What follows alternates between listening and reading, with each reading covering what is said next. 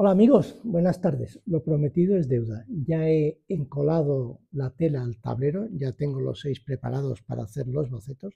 Y como os prometí esta mañana, os traigo a Joan Giral Lerín.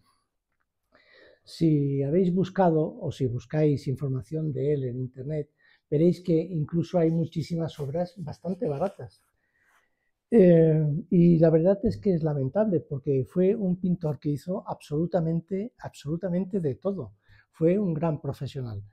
Joan Giral Lerín, catalán, nació en Barcelona en 1907 y no hagáis caso de lo que ponen por ahí muchas biografías, pseudo biografías de Giral Lerín, que murió en 1940. Es mentira, porque yo ahora os diré que incluso en el año 61 Ah, hay, eh, hay, información de exposiciones que realizó, que ahora os las diré, eh, en, Barcelona y en algunos sitios. Las he estado buscando y numerando y también os diré los precios, porque ha sido un pintor que ha tenido obra en subasta, en Sotheby's y en Christie's, aparte de bastantes salas españolas, en Durán y demás. Nunca ha sido un gran pintor reconocido en España porque su pintura siempre ha sido un poquito floja pero es que tenía que darle de comer a su familia. Porque imaginarse, naciendo en 1907, cuando estalló la Guerra Civil Española en el 36, tenía 30 años. Eh, y cuando terminó la Guerra Civil Española, ni más ni menos que empezó la Segunda Guerra Mundial en Europa. O sea que realmente fue un pintor que también pasó una época complicada en España. Y vengo a decir esto porque la mayoría de obras de Giral Lerín con las que se hizo famoso fueron unas bailarinas de la época de París, así muy al estilo a lo de Degas, que eran bastante comerciales. Monaguillos o escolás, como él le llamaba, no hay tantos. Este para mí es encantador y cuando lo vi, mira, está en nuestra colección. ¿Qué pasa con Joan Giral Lerín? Pues mira, yo ahora os lo voy a contar. Este tipo de obras de Giral Lerín están hechas sobre mansonita. La mansonita era un cartón que se preparaba con una imprimación y era, eh, vamos, era casi de uso obligado en aquella época de una economía de posguerra y de, y de muchas vicisitudes. Cuando alguien habla del ajo para tapar poros, que yo lo he empleado, se empleaba sobre mansonita. Eh, realmente y funcionaba, ¿vale? Esta capa es la parte más rugosa y con el ajo se preparaba la otra parte si todavía tenía poros para que la pintura corriese más suave y la mansonita que era cartón prensado no, no absorbiese tanta pintura. Entonces, hace muchos años que está conmigo y creo que hoy Giral Lerín se merece que os cuente un poco de, de su biografía, al mismo tiempo que vamos a hacer una cosa. Mirad, eh, en primer lugar voy a limpiar un poco esta madera y nutrirla porque hace aproximadamente 30 años que este cuadro no se ha nutrido ni nada. ¿Cómo se nutren las maderas de los marcos antiguos que ya os lo dije? Pues mirad, sencillamente es un poquito de aceite de linaza no aceite de lino, aceite de linaza.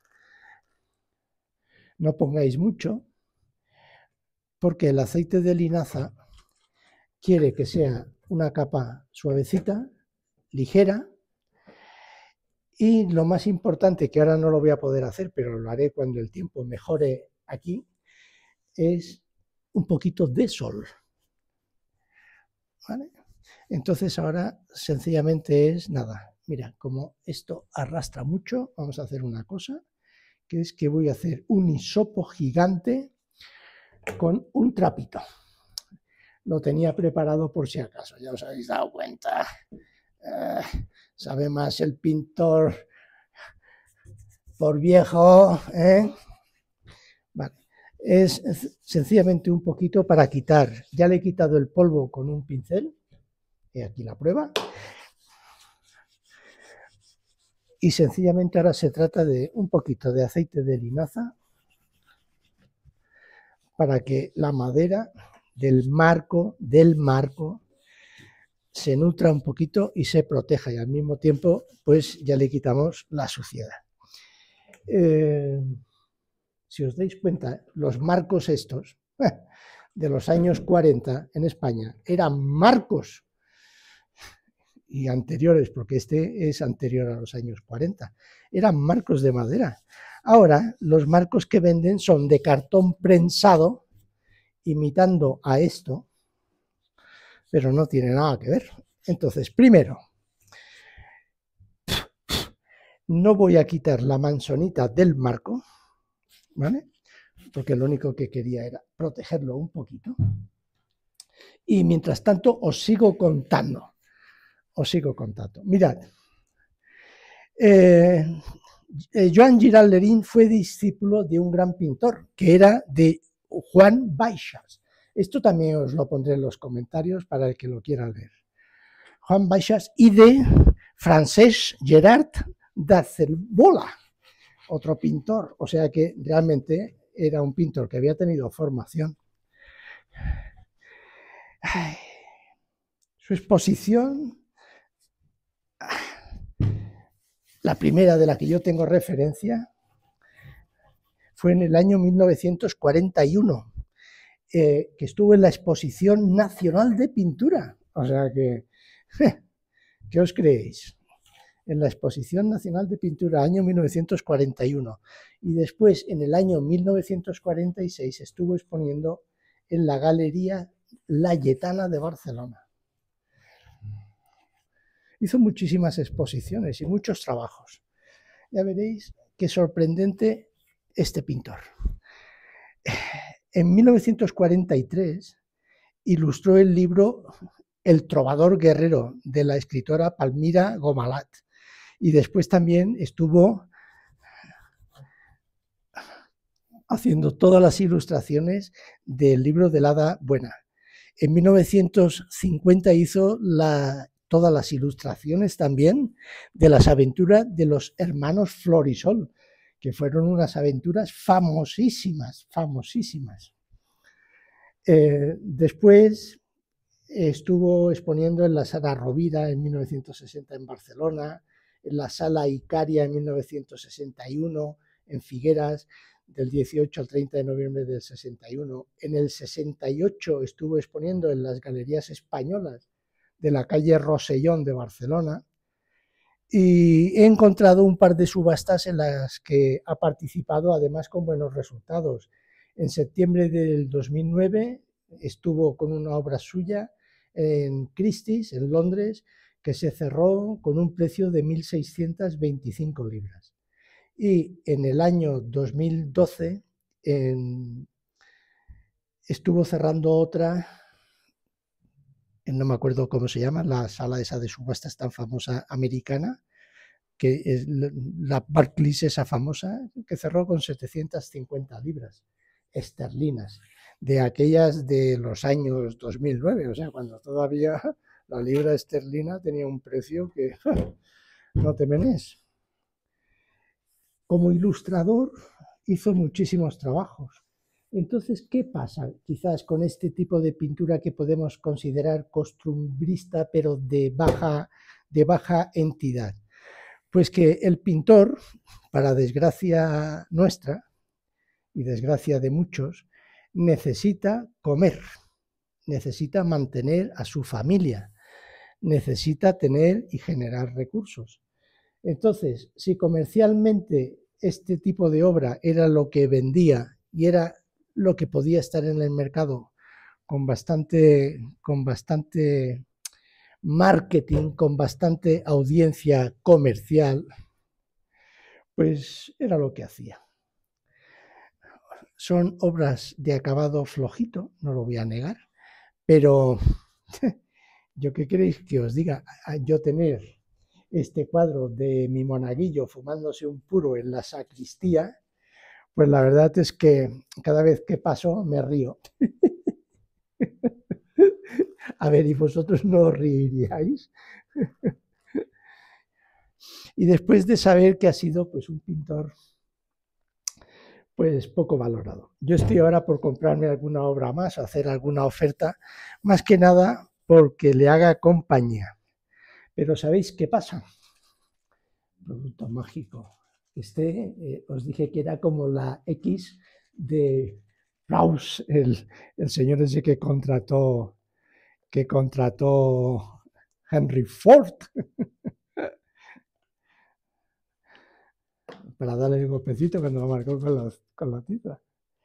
Vamos a ver, es poco, porque esto es, esto es buenísimo. De todas formas, eh, no os podéis arrepentir ni quejar de nada, porque os puse la mejor manera de limpiar los óleos. En este caso vamos a hacerle un favor a mi estimado monaguillo de Joan Giralderín. ¡Qué purito! ¿Sabéis qué pasa? ¿Por qué me hace tanta gracia esto? Porque un servidor, un servidor, cuando tenía que hacer la comunión, estuvo de monaguillo, poco porque me despidieron por malo. No, no es cierto estuve de monaguillo en la iglesia de la Santísima Trinidad, en, Palma de Mallorca. Pero estuve, estuve poquito porque no era, mi, no era mi vocación estar de monaguillo. Yo quería, para estar en la iglesia, yo tenía que ser papa, pero me dijeron que el sitio estaba ocupado y que no, no era posible. Y como no era posible, pues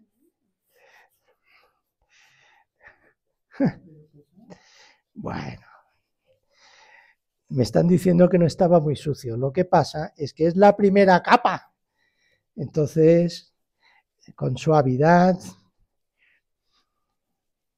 vamos a hacerlo bien. En, la, en, el vídeo de la, de la limpieza, en el detalle, os puse exactamente eh, cómo, cómo, se hacía, qué productos emplear. Yo para hacer hoy el vídeo, pues la verdad prefiero ir a un poco un poquito más ligero, prefiero quitarle la capa directamente porque solamente quiero retirarle un poco pues ese polvo que ha podido estar, estar acumulando. De todas formas, una cosa que tenéis que daros cuenta que por eso vamos trayendo tantos cuadros distintos de distinta forma, es que al ser mansonita y estar tapados los poros, la capa de óleo es más magra. Y al no ser una tela, no tener esas rugosidades, sino que es una superficie muy lisa, pues el mero hecho de, la poca limpieza que se va haciendo, que se va haciendo en casa, o sea, quitarle el polvo, pues no acumula tanta porquería como podría acumular una tela. Pues ahí tenéis a, a Lerín, Joan Giral Lerín. Hay otros Lerín actualmente, eh, pero no sé si son familia de, este pintor. No, lo desconozco totalmente.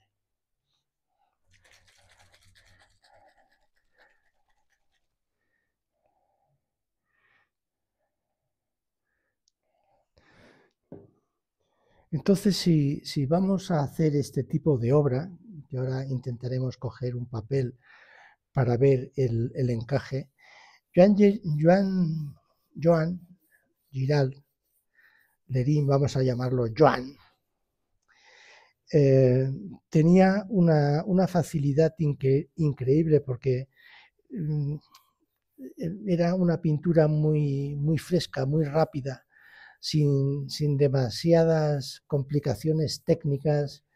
E incluso si la buscáis, que además la veréis porque es muy accesible, eh, encontrar información sobre este pintor. Información no, información es, es muy complicado. Eh, sí, obra, muchísima obra. De hecho, hay un par de portales de esos de venta de, de cosas de segunda mano aquí en España que realmente tienen, tienen obra. Lo que pasa es que sigo considerando que es una obra muy floja y, que tiene eh, poco empaque, ha tenido poca trascendencia, a pesar de las subastas que ha tenido en la Christie's. Y ahora me he acordado, Sotheby's. En Sotheby's eh, salió una subasta 3 de abril del 2012 y consiguió 750 libras. O sea que realmente es un pintor que en estas medidas estaría en torno a los 1.000 euros de cotización. Eh, todo lo que sea por debajo de eso considero que, es eh, tirar la obra de este, de este artista. Porque aunque sea flojita, pues bueno, es un pintor de 1907, ha estado exponiendo en París, ha estado exponiendo en Estados Unidos. Recuerdo que hay del año 1958 una referencia de él de una galería en Argentina, en Rosario. Y lo recuerdo bien porque en la biblioteca de Rosario sigue habiendo referencias del proyecto España, donde estuvo Joan Giralderín. Eso no, está aquí apuntado, es que me he acordado ahora. Entonces, si lo buscáis, eh, tuvo, hay, una referencia de él en, Argentina. Como tantos otros pintores, pues bueno, se ha tenido que ganar la vida, ha tenido que estar luchando y él encontró su gran mercado en la ilustración ilustró pues muchísimas postales, hay muchísimas colecciones de postales sobre toreros, sobre eh, folclore español, eh, las famosas gitanas eh, bailaoras, pues tienen una, vamos, tienen un catálogo en la obra de, de Girard Lerín increíble. O sea que el que quiera una obra de él tiene fácil acceso. Yo las que he visto hoy en el mercado español estaban entre los 250, 300, 400. La más cara que he visto creo que estaba en torno a los 400 euros. Que claro, a eso le añades comisiones y después ponerle un marco en condiciones, pues, pues bueno, tiene, tiene su coste, tiene su valor. Yo, por ejemplo, esta con el marco que tiene, de entrada, bueno, no, no la vendería porque sigue siendo el monaguillo y tiene su sitio en el salón de mi casa.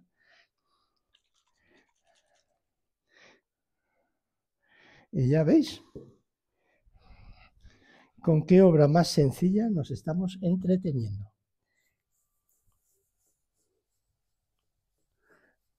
Un poquito de limpieza. Yo supongo que cuando yo no esté, estos monaguillos pues acabarán en, en alguna sala de esas de subastas, que claro, la gracia de este es que tiene su marco original de época.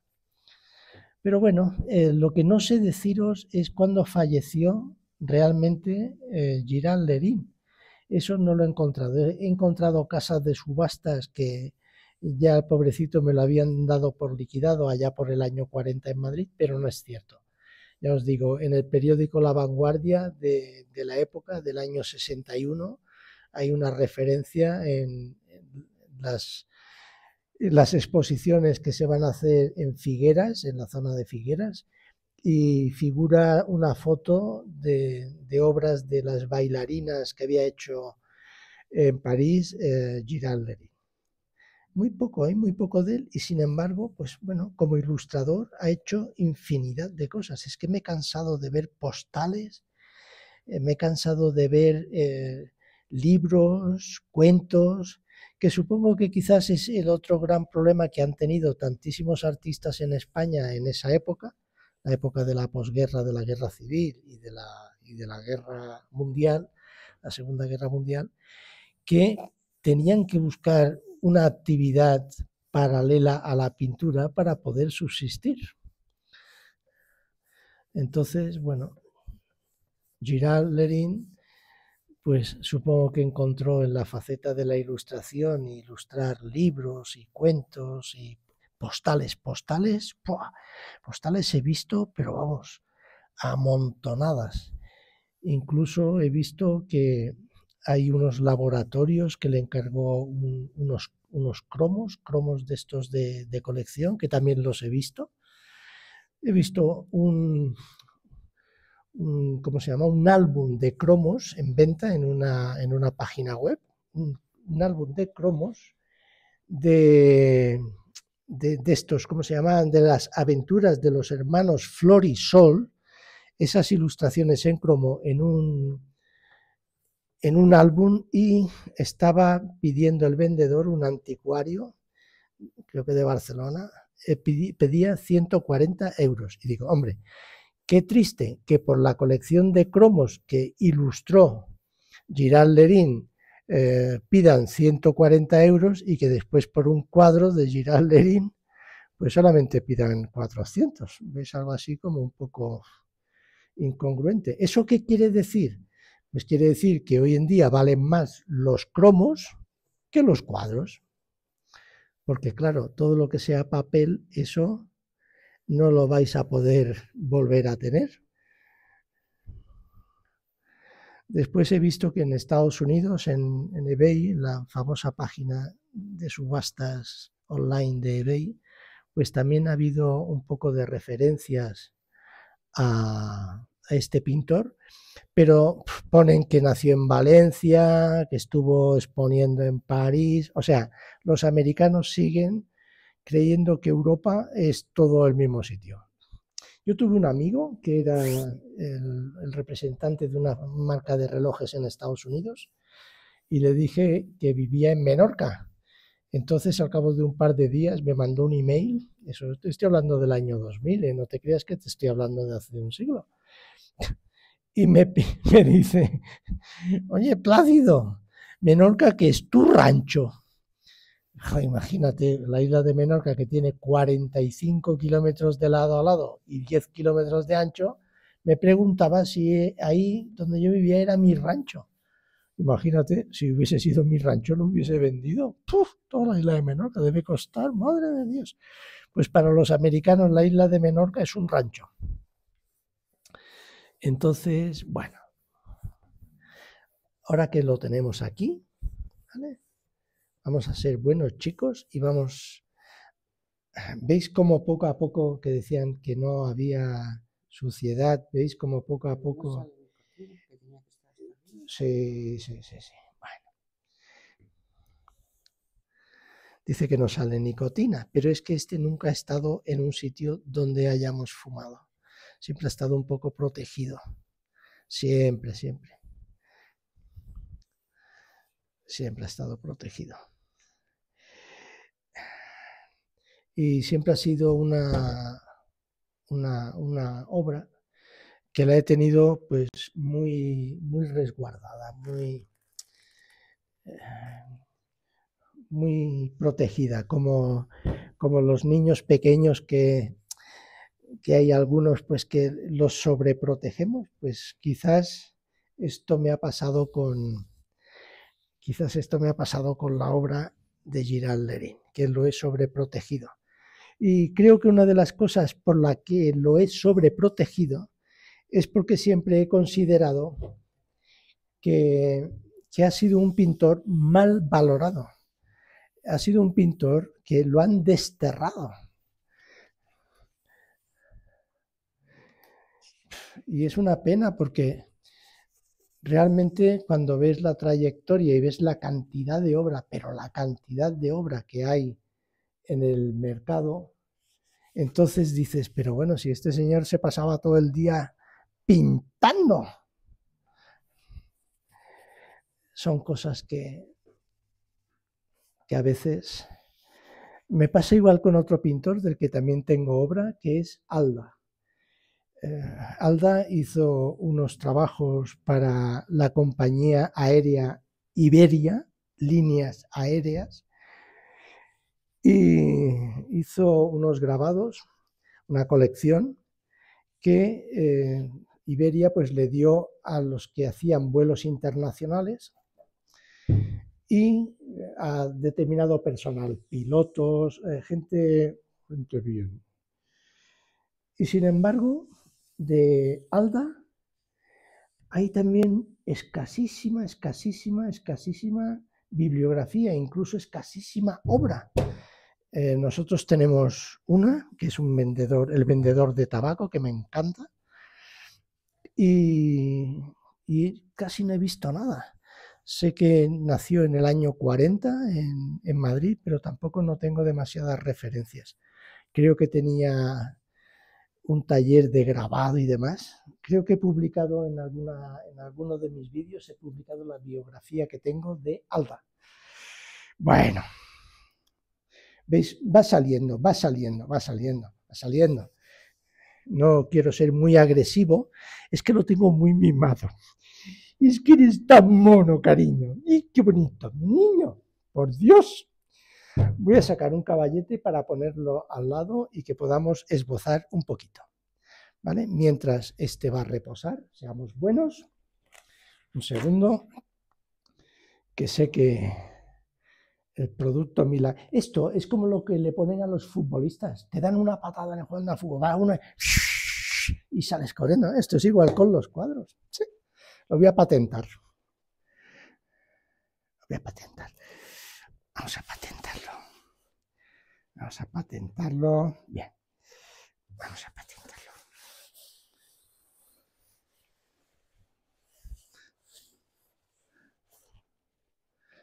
¿Ves? Sí.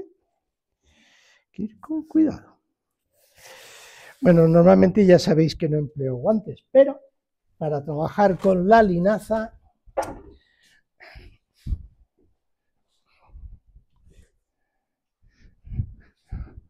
os recomiendo que para trabajar con, la linaza, el aceite de linaza, no el aceite de lino purificado y rectificado, no, con, el aceite de linaza, os pongáis guantes porque es muy secante y entonces agrieta los dedos, que a mí me ha pasado.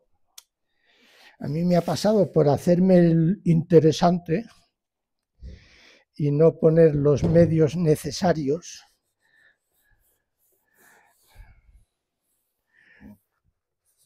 Entonces, Mansonita. Sí, cuando yo empecé a pintar de joven, de pequeñito, eh, había mucha, mucha cosa en Mansonita. Sí. Mansonita. Era barata, fácil de trabajar, pero mi profesor lo primero que hizo, don Pedro, si me estás viendo, me acuerdo de ti, eh, lo primero que hizo fue enseñarnos que dándole ajo a la mansonita, eh, tapábamos los poros y después a darle el aguarrás, porque entonces aceite de lino solamente lo empleaban los señoritos, los pobres, aguarrás del barato, del barato. Entonces, bueno, esto seguirá haciendo su efecto, irá disolviendo la nicotina y la porquería que tiene. Entonces, vamos por trabajo. Aquí están mis bocetos, que algún amigo ha sido muy amable y hemos enseñado del 1, el 2, he seguido pensando en ellos. ¿eh? Hoy haremos unas fotos aquí para ver si con búsqueda por imágenes eh, conseguimos ver que no haya, que no haya alguna, algún cuadro, alguna pintura de algún artista que sea demasiado similar a lo que yo quiero hacer, a lo que yo quiero hacer, espera, los voy a colocar bien así, de forma de que se puedan fotografiar y, y podamos hacer esa búsqueda por imágenes. Entonces, esto lo vamos a coger, vamos a coger unas pinzas. Ya veis, este es un tallercillo, una cosilla de estas de, de andar por casa. Vamos allá. Vamos allá, vamos allá, vamos allá. Vamos allá, vamos allá. Vale. Muy bien.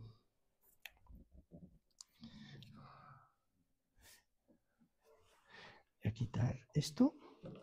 Vamos a poner aquí. De forma que se pueda acercar bien el, el cuadro al óleo sobre mansonita de Giral Lerín. ¿Vale? Y entonces nosotros pues podemos trabajar un poco para analizar cómo se puede encajar la obra y cómo podemos ir a ese tipo de a ese tipo de obras. No os lo perdáis, ¿eh? Ah, os lo perdáis. En casa del herrero, cuchillo de palo. Había perdido la herramienta del pintor. ¿Qué te crees? Terrible. Terrible. Con razón dice mi mujer que gasto tanto. Pierdo las cosas, no las encuentro. Vamos a hacerle. Sí. Pues ya veis, qué trabajo más sencillo. Es muy básico y, y yo creo que lo que más destaca, lo que más destaca es cómo ha centrado el monaguillo en esa actitud. Entonces, veis que poco más o menos tiene la misma distancia de abajo a arriba. Entonces, nosotros vamos a hacer nuestro monaguillo. ¿Vale?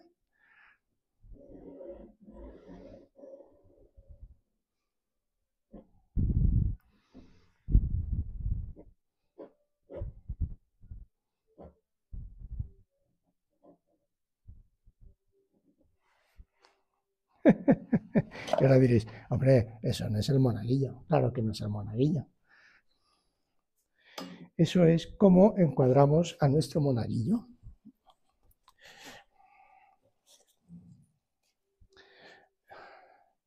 ¿Vale?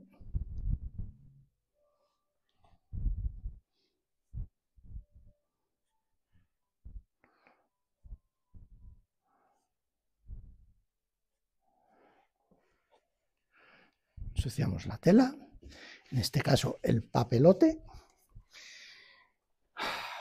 para que nos quede bien cómo, cómo, distribuir la imagen. Si os dais cuenta, ha cogido una imagen, una línea de fondo, y ha puesto aquí una, silla sobre la línea. Estas sillas se empleaban, se llaman sillas fraileras, como todos sabéis, y se empleaban allá por los años 40, que eran típicas de las sacristías de las iglesias. Fraileras solían tener el piel y piel. Y aquí ha dejado un marco enseñando un marco, ¿vale? Para encajar, para encajar la figura. Ese corte de pelo también años 40 o años 50, ¿vale?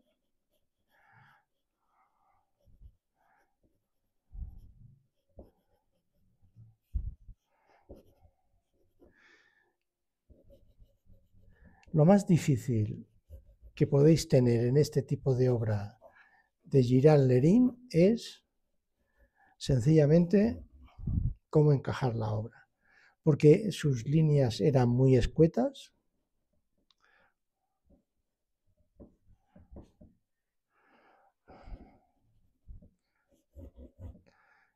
y era muy fácil, muy fácil, muy fácil de, muy fácil de trabajar, muy fácil. Yo creo que por eso posiblemente es por lo que la obra de, de Giral Lerín ha sido tan comercial, ha sido tan rápida y, y tuvo tanto éxito en su momento porque era muy fácil de muy fácil de realizar, muy escueta en cuanto, en cuanto a líneas, muy escueta en cuanto a, composición, muy suave en cuanto a color.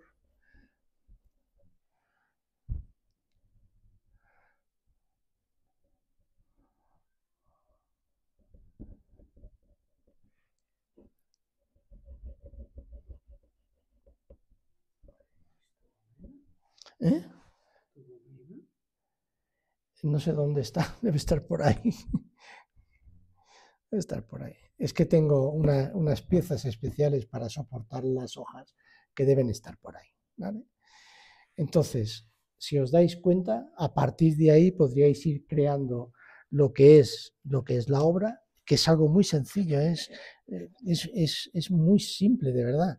Es, es un tipo de obra muy, muy, muy, muy elemental. Pero si os dais cuenta, sí hay un estudio de color, de color, de las luces, de las sombras, que a pesar de ser tan escueto, tan sencillo, pues él realmente con colores básicos, no se ha complicado la vida, con colores básicos, ha cogido y le ha dado sus luces y sus sombras y nada.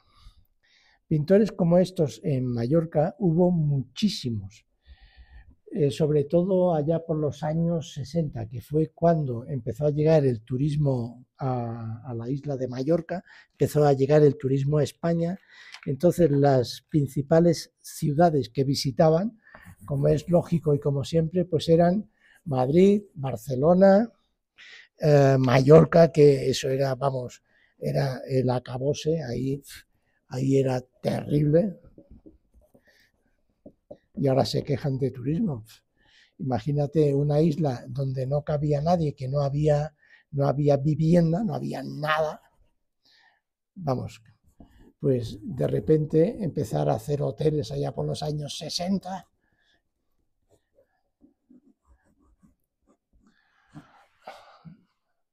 Y ahí lo tenéis. El color de la pared es ese tono verdoso sucio y fundamento ¿Por qué estamos haciendo esto? Pues muy sencillo. Vamos a explicarlo aquí con, dos trazos. Una cosa muy sencilla. Porque no se trata de copiar a, a Joan Giral Lerín. Se trata de aprender utilizando al maestro Giral como excusa.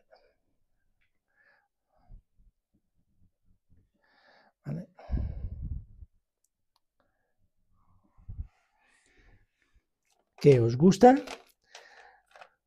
pues ya lo podéis comentar porque parece que os da miedo comentar. Aquí nadie os va a decir nada. No tenéis que ser, no tenéis que ser cobardes y escuetos con los comentarios.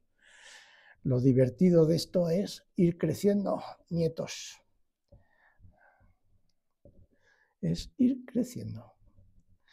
Y yo creo que la mejor manera es ver qué han hecho, qué han hecho otros artistas otros artistas para analizar qué es, qué es lo que tenemos que hacer nosotros.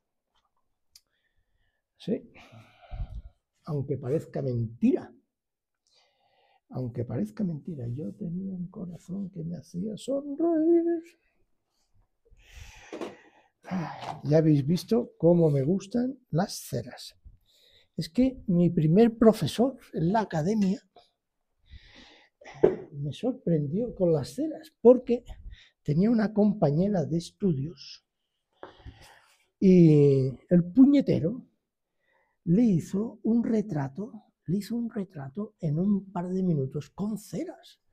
Claro, y eso sorprende a todo el mundo. Eso, eso te, deja, te deja alucinado. Siendo pequeño, llegas allí con 11 años, ¿eh? con 11 años. Llegas allí y te hacen eso y dices, por el amor de Dios. Entonces, desde aquel momento siempre he tenido muchas ceras y he procurado pues seguir utilizándolas, ya lo veis. Además, para un taller y una, y una clase, pues la verdad es que son cosas que van muy bien. Bueno, y aquí él ha dado mucho tono verde, vamos a emplear este, ahora lo oscurezco un poquito para que veamos cómo se comporta el color.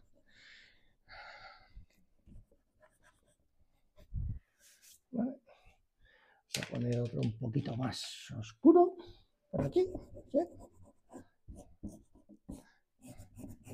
Y después el puñetero, pues, era escueto, una paleta reducida, paleta reducida, Y ahora vamos, vamos ahí, vamos a coger un ocre, un ocre, que también es un color que aquí se utiliza muy poquito. Bueno, vale. Esto es básicamente lo que él ha estado utilizando. Ha empleado unos tierra, son muy sencillos, fáciles, fáciles de trabajar. Ha empleado unos ocres. La luz la ha dado en ocre, ha creado esos puntos de luz, porque si os fijáis casi es el mismo ocre que está empleando para el punto de luz que tiene que venir de una ventana y eh, en lo que es la luz del asiento de la silla.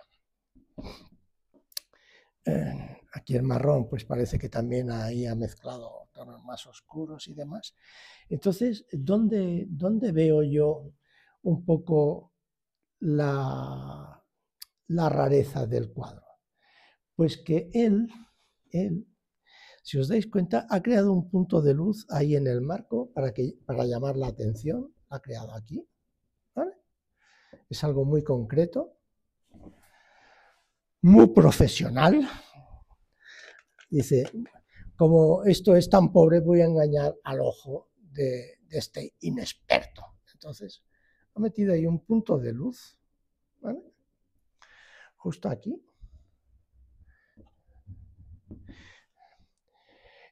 y ha hecho un contraste fuerte entre el marrón, que es un tierra siena o un tierra tostada, con este ocre, con este amarillo. Ha sido algo muy escueto, ha sido nada. El verde que está utilizando en, lo que es el interior del cuadro más oscuro, posiblemente sea el mismo verde que ha aclarado en, la otra parte. O sea, la paleta ha sido muy, muy, muy, muy reducida.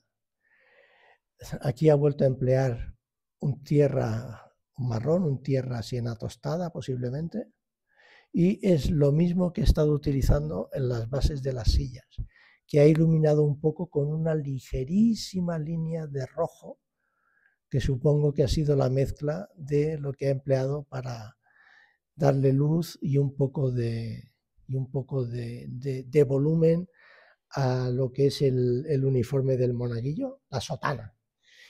Entonces, eh, fijaros, y es un cuadro que tengo y, es un cuadro que, además tengo con cariño, pero mi lógica dice, vamos a ver, si las sombras están en la parte posterior del monaguillo para darle volumen, lo que no tiene sentido es que la parte de sombra de la sotana esté delante.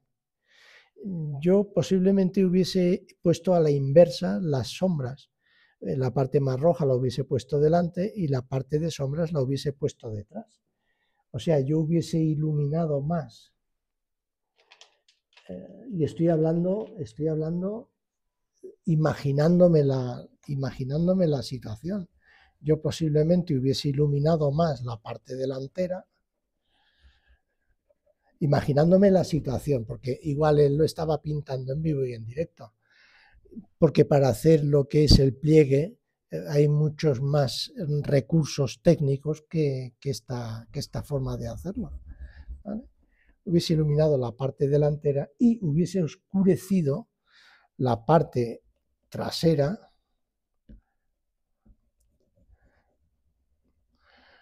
porque la sombra la estoy proyectando, la estoy proyectando detrás. igual que estoy proyectando detrás la sombra del incenciario este o como se llame. Si yo tengo la sombra aquí, pues lógicamente aquí vuelvo a estar otra vez casi igual. La parte más iluminada posiblemente la hubiese tenido que tener más en esta parte para darle volumen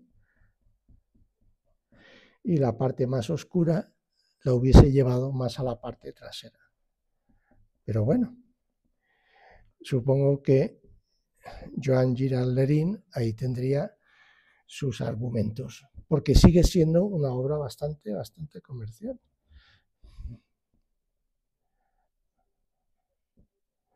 Bastante comercial. Vuelve a tener ahí los zapatitos en blanco, eh, que el blanco es los, calcetines, bueno, sí, los calcetines. Entonces, el recurso del blanco, la verdad es que también es, bastante, es bastante limitado, porque eh, la luz aquí la volvemos a tener totalmente en el pie. No sé si sería una luz difusa, siempre, siempre me he quedado mirando, ver eh, exactamente qué, qué, composición, qué composición tiene la obra. Yo no sé si a vosotros os pasa con las obras que hacéis, pero, pero realmente un cuadro que hace tantísimos años que tengo, mira, creo que nunca lo había sacado para hacer una, cosa de estas. Y como ahora eh, Joan Giral Lerín no va a venir a llevarme la contraria ni a decirme nada, como no venga algún experto en, obras de este, de este pintor, pues entonces puedo seguir trabajando con él. ¿Por qué estoy haciendo esto hoy? Porque estoy recibiendo a través del correo, estoy recibiendo eh, obras de artistas que en cierta forma piden pues, que, valore o que, o, que emita una opinión. Y me cuesta, me cuesta muchísimo, de, verdad, porque considero que, que todas las obras son buenas y que hoy en día es muy difícil encontrar un mercado. La mayoría de obras que recibo no son obras abstractas o obras, eh, obras que sean conceptuales o no.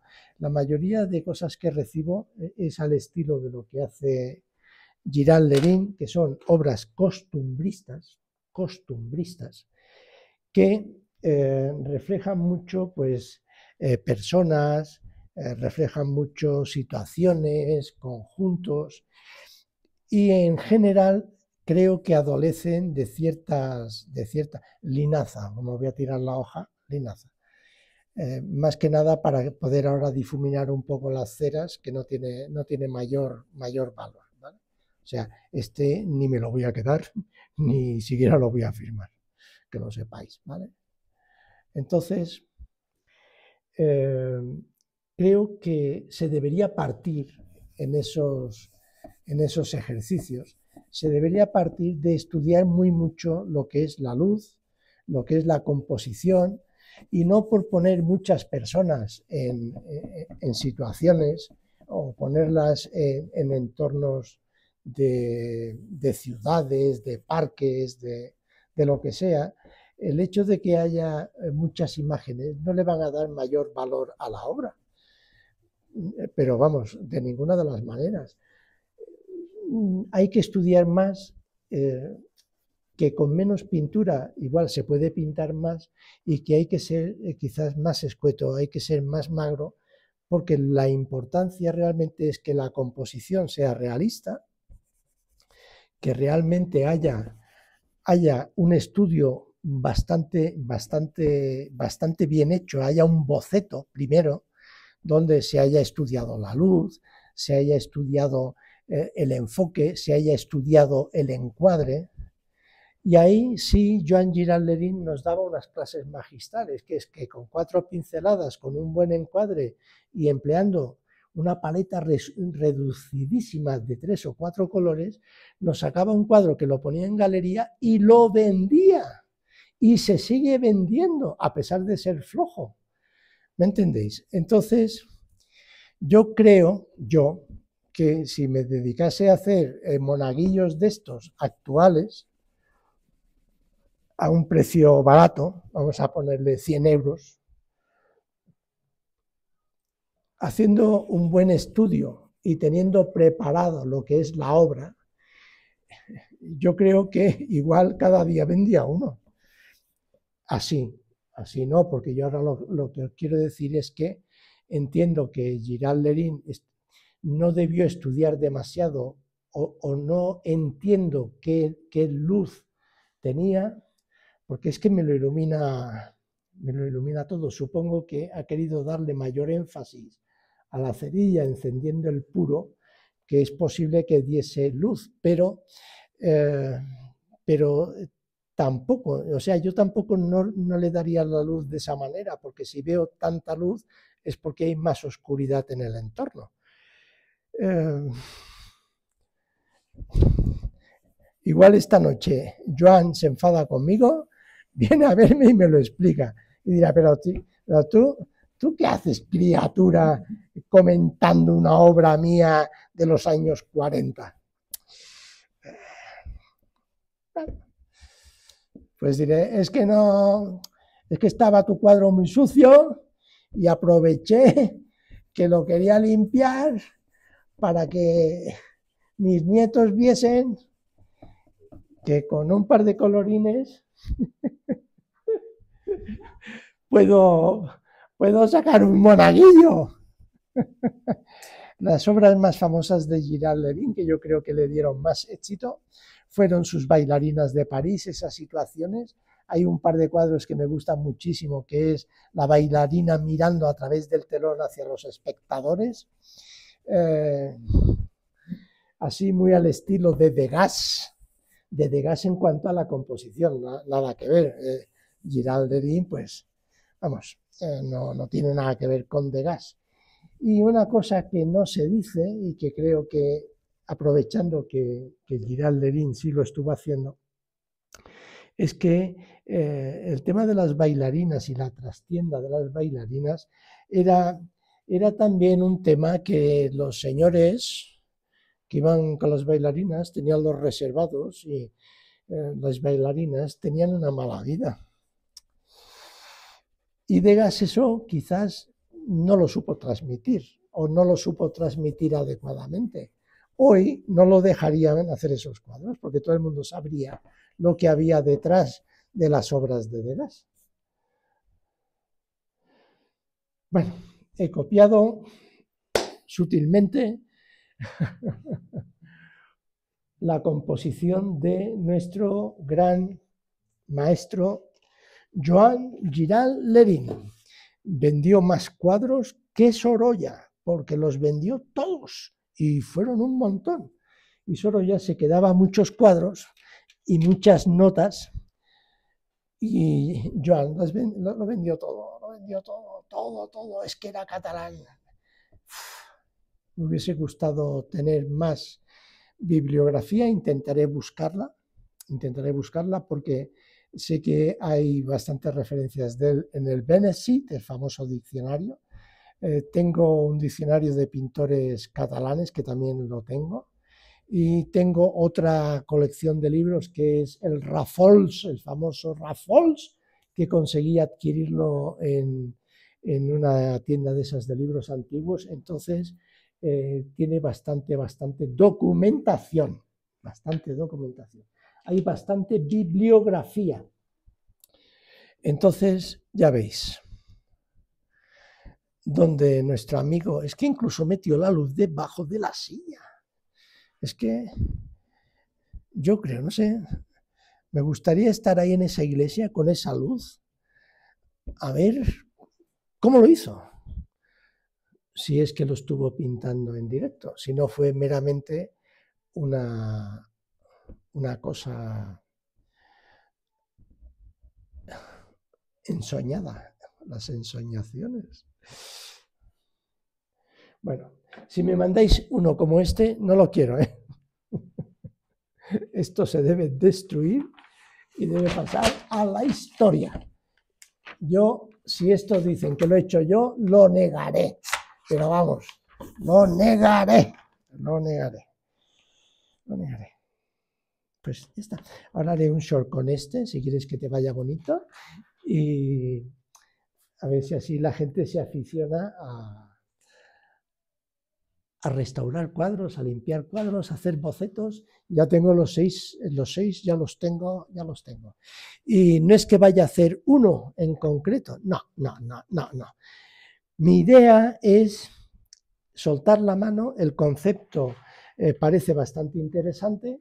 Entonces, es buscar que no haya obra similar en el mercado, porque si hay obra similar en el mercado, pues entonces tendré que cambiar mis bocetos, cambiar el concepto, que para eso se hacen los bocetos. Y además hoy tenemos tantísimas herramientas. Este es el que las personas que me están ayudando eh, más han valorado. Eh, después de, este, del 1. Este fue el primero.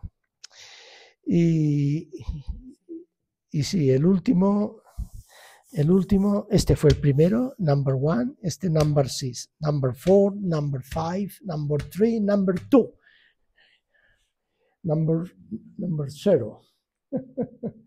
Sí, la idea es hacer seis obras para poderlas, eh, para poderlas eh, unir como una pequeña colección.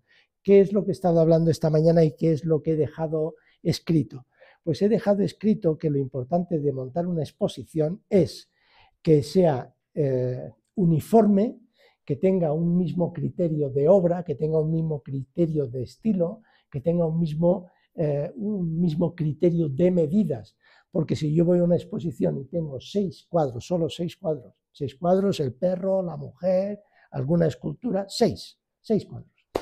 Entonces, le doy muchas facilidades al visitante, al cliente, al observador, le doy muchas facilidades para que pueda elegir entre uno de ellos. Si yo pongo unas flores, una acuarela, un boceto, un dibujo, cada uno de una medida, marcos distintos, cuando llegue allí mi comprador se va a perder y va a decir, ah, pues no sé cuál llevarme, me lo pensaré.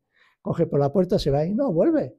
Sin embargo, si son obras misma, misma, misma, misma sintonía, una armonía, pues es posible que entre unas diga, ah, pues mira, esta me llega más el movimiento, eh, la construcción, lo que ha querido transmitir el pintor, eh, en pocas palabras, Uniformidad. Es como cuando tienes que matar a un soldado, como todos tienen el mismo uniforme, tú tiras y no sabes a quién te has cargado. Pues los cuadros es igual, tú haces todos los cuadros muy parecidos, como ella hace la pintura Sumie, que hace y entonces cuando exponen, ven, la gente ve un criterio, ve una armonía. Y lo que pasa en las exposiciones colectivas, que a mí no me gustan, que las odio, vamos, es que, es que, es que deberían estar prohibidas, es que llegas allí y te encuentras las flores de María, te encuentras la carita del niño de Antonia, te encuentras el paisaje de la calle con una cuesta de José, eh, te encuentras el paisaje de una marina de Antonio. Eh, mal, mal, poco criterio. Aunque fuesen colectivas tendrían que decir flores, todo flores, tamaño, todo 20 paisajes, todas marco sin marco o un perfil, eh, marinas, todo marinas, eh, abstracto, todo abstracto. Entonces la gente podría comparar, pero si yo pongo un cuadro hiperrealista y lo quieren comparar con las flores de Antonia, pues claro, van a ganar las flores de Antonia. Espero que os haya gustado. Girán Lerín, Joan Girán Lerín, el monaguillo. Composición, composición, juego de colores, transiciones, estudiar bien las luces, no hagáis como él, hacerlo mejor porque ya sabéis cómo lo podéis conseguir. Hasta luego amigos.